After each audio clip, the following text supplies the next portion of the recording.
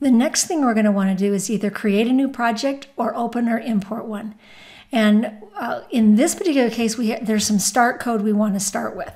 So you can download that start code from um, Canvas, right? So if you want to download that from Canvas and then make sure you know where you store it. It's called gettingstarted.zip and download it and save it somewhere you can find it. Once you get that downloaded and saved, then extract it or unzip it and the way that you like to do that. And then it'll create then you'll have this folder called the same thing and it has the content the contents of that in there. So once you get that unzipped, then you can choose in CLion, you can choose open or import. And here's where you really need to know how to find it because you're just on your regular C drive. You need to go into users. I'm Linda is the user that I am.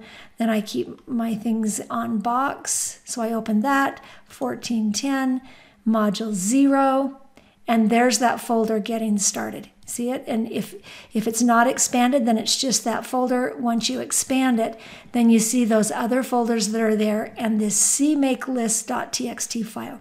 And this is the file you want to click, right? So no, don't go inside those folders. Just click on that cmakelist.txt file and say OK. And now it's going to give you the chance to open as a project, which is what we want. You do have a choice to open it as a file or to cancel. But we want to open it as a project and as soon as we do that, then it opens up and we have a project that we can work with. Let me see if I can get this the right size to work in here. Okay. Now, it's opening up that project and getting it ready to go. See it down here where it say it's loading uh, the CMake project and waiting for just a little while. All right, now if we go up here on the left, this is where it shows us the information about our project. This is just the file folder. We expand that, then we can see that CMake list file and those folders that were there, plus an additional folder. Now, every time that um, CLion opens up a new uh, file, it will create these files. So if you notice if we go back here, we have a couple of additional folders. And those folders you don't need to do anything with. Uh, CLion makes them and uses them. If you can delete them and it'll rebuild them the next time you do it. That's the CMake build debug folder and this idea folder.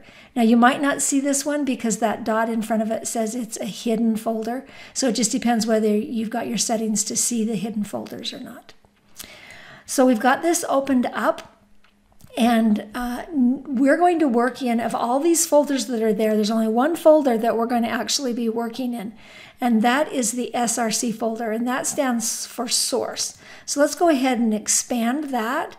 Notice there's another CMake list file in there. Now you're not going to have to do anything with those CMake list files. They're all set up, ready to go, and uh, have the right settings in there to make this program work fine for you. But we are going to do in these CPP files, we're going to make changes. So we've got a main CPP. If I double click on it, it will open here. And if I double click on this other one, the hello world.cpp, it will also open. And these are the two files that we're going to be working in today. So now that we've got this um, opened as a project in CLion, we can work in it.